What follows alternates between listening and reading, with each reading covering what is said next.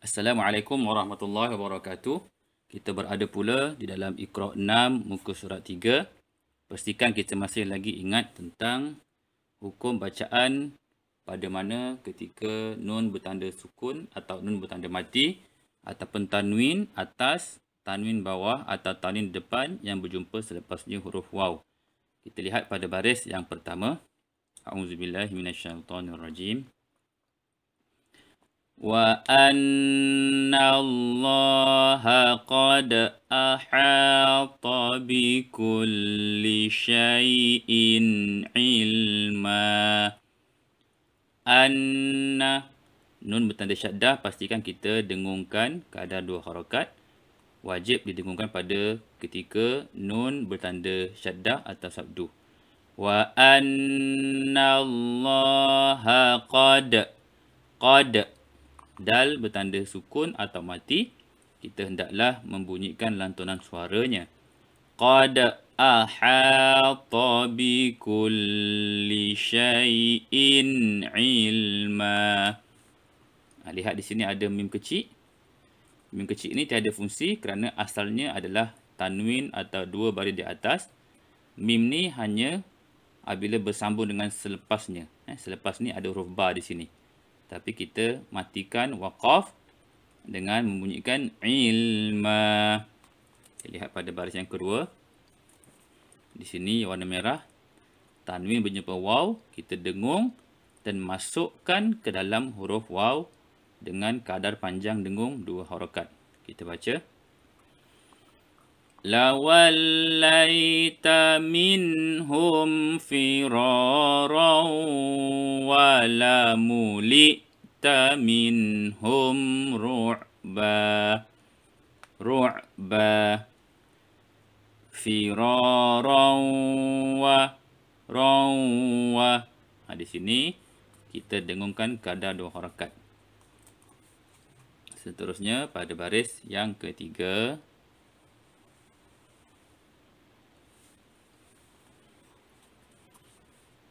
فلنقصن عليهم بعلم وما كنا غائبين okay, jikalau nafas tidak sampai kita boleh berhenti di mana-mana okay, kita pastikan bacaannya atau cara berhentinya adalah betul lah okay, di sini nun bertanda Ah, tanda syadda pada huruf sod, maka kita kena tekan dan masukkan tanpa dengung dan terus lepaskan. Qussa. Ha, di sini nun bertanda syadda, kita kena masuk dan dengungkan kadar dua harakat. Di sini tiada dengung, di sini ada dengung.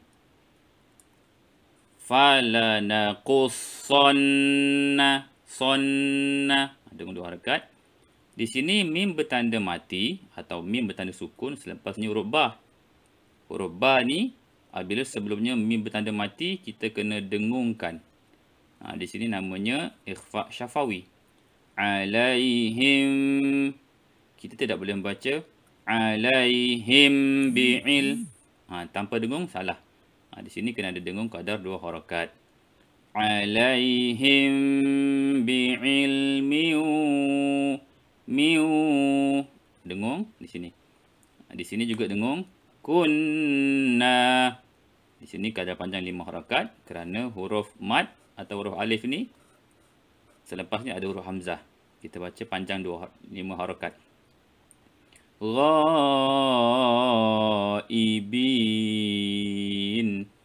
Seterusnya baris yang keempat. Tarik nafas. هذا بيان للناس وهدى وموعظة للمتقين Dengung tanwin jumpa lam tiada dengung di sini ada dengung nul linnasi di sini kita kena dengungkan kanda dua harakat tanwin selepas huruf waw. Wa hudaw wa mau. Daw wa mau. Dengung dua harakat. Seterusnya baris yang kelima. Tarik nafas panjang-panjang. ولقد جعلنا في السماء بروجا وزيناها للناظرين ha, Nafas tak sampai eh. Kalau tak sampai kita berhenti di sini lah. Berhenti di sini. Kita kemudian ulang balik di sini. Okay, sekali lagi. ولقد جعلنا في السماء بروجا وزيناها ha, di sini dengung dua rakaat kita ulang balik di sini وزيناها للناظرين Jikalau ayat panjang, nafas kita tidak sampai, maka kita boleh berhenti di mana-mana. Kemudian kita ulang balik pada tempat yang sesuai. Ha, di sini, tanwin selepasnya huruf waw, kita kena masuk dan dengungkan kadar dua harakat. Buru jauh, jauh. Okey, kemudian baris yang seterusnya.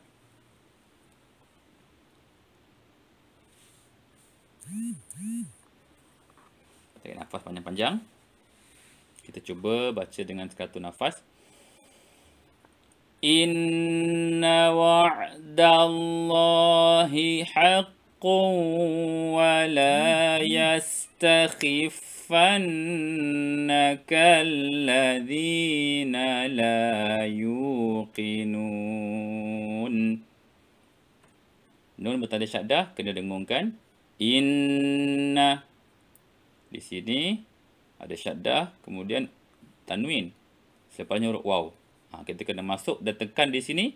Kemudian masuk pula di sini. Dan dengungkan kadar dua harakat. Haqqun wala. Ha, di sini ada syaddah, syaddah, syaddah. Ha, pastikan kita membaca bagaimana cara bacaan yang betul apabila ada syaddah. Kita telah pun belajar sebelum ni. Pastikan bacaan kita betul. Kemudian kita pada baris yang seterusnya. Tarik nafas. Fiha azwajum mutahharatun wahum. Ulang balik di sini. Wahum fiha khalidun. Tanwin sepanjang huruf waw masuk dan dengungkan kadar dua harakat. Tung wa hum. Ha, di sini kita baca panjang kerana huruf mat. Alif ni huruf mat. Selepasnya ada huruf hamzah. Ha, alif hamzah ni hamzah lah. Maka kita kena panjangkan. Sekali lagi kita baca. Cuba satu nafas pula. Tarik nafas dalam-dalam dan panjang. ولهم فيها أزواج مطهرة وهم فيها خالدون Okey, kita baca ayat seterusnya, ayat baris yang terakhir. Jikalau kita lihat di sini, tiada baris. Ha, alif ni hanya ada sod kecil sahaja di atasnya. Ha, maka kalau tiada baris, kita kena bariskan. Macam mana kita nak menentukan barisnya? Kita lihat pada huruf yang ketiga. Ha, huruf ketiga yang mana? Satu, dua, tiga. Adakah huruf ba? Ha, bukan eh, bukan huruf ba. Ha, bila huruf tu ada sabdu atau syaddah, bermaksud huruf tu ada dua. Jadi, kalau ada dua, satu, dua, tiga. Jadi, ketiga tu huruf ta. Ha, huruf ta tu baris apa? Ha, kita keadaannya lihat pada huruf ketiga.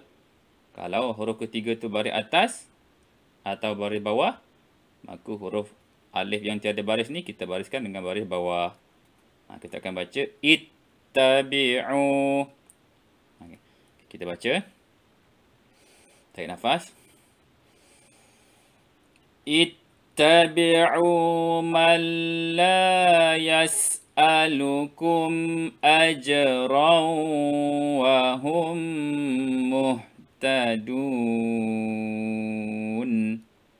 Ra'un wa hum muh. Ha, mim tanda syaddah kena dengung kadar dua harakat. Hum muh raw hum. Ah ni dengung. Ni pun ada dengung.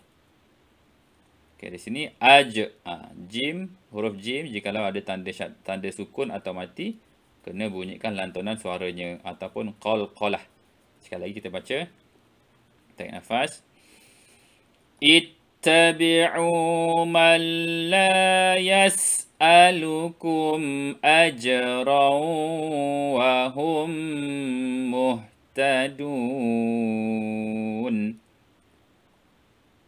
Sadaqallahul azim. Sekian saja untuk muka surat 3. Kita akan berjumpa pada muka surat 4. Assalamualaikum warahmatullahi wabarakatuh.